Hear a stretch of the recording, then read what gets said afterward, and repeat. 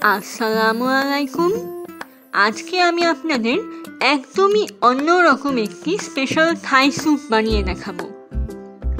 আমার আগের রেসিপিতে আমি চিকেন ফ্রাই করে দেখিয়েছিলাম। চিকেনের পিসগুলোকে ম্যারিনেট করে প্রথমে ময়দার মধ্যে, তারপর পানির মধ্যে ডুবিয়ে নিয়েছিলাম। চিকেন ম্যারিনেট করার মশলাটা ময়দা আর পানিটা দিয়েই আমি আজকে স্যুপটা বানাবো। পানিটা অবশ্যই ফুটানো পানি হতে হবে। সবগুলো উপকরণ মানে আটা, মশলা আর পানিটা মিক্স করে নিব। এর সাথে আমি দুই কাপ পানিও মিশিয়ে নিব। তারপর সবগুলোকে একসাথে চুলোয় জাল দিব। সবগুলো কিছুক্ষণ ফুটিয়ে নিব। এবার তিনটি চিংড়ি দিয়ে দিচ্ছি।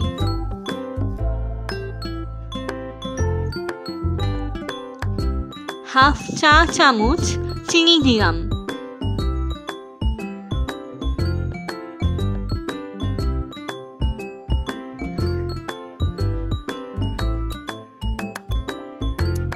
এবার এক চা চামচ ভিনেগার দিয়ে দিলাম।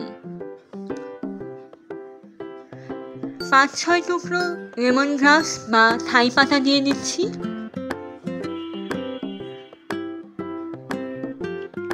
এক টেবিল চামচ টমেটো সস দিলাম আমি এখানে লবণ দিচ্ছি না, কারণ ময়দার মধ্যে আগে থেকে লবণ ছিল। ভালো করে মিশিয়ে নেব।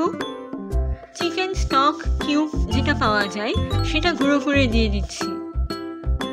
এর বদলে আপনারা টেস্টিং সল্টও দিতে পারবেন।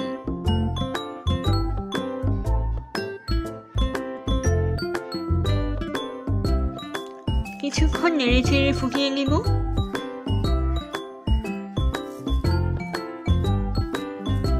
এই পর্যায়ে দুইটি কাঁচামরিচ দিয়ে দিলাম। আরও কিছুক্ষণ চুলায় রেখে নামিয়ে নেব। এবার নামিয়ে গরম গরম পরিবেশন করুন মজাদার থাই স্যুপ। চিকেন ফ্রাই বানানোর পর অবশিষ্ট ময়দা আর মশলাগুলো ফেলে না দিয়ে এভাবে স্যুপ বানিয়ে দেখুন। ভালো লাগলে আমার চ্যানেলটি সাবস্ক্রাইব করে দিন। ধন্যবাদ।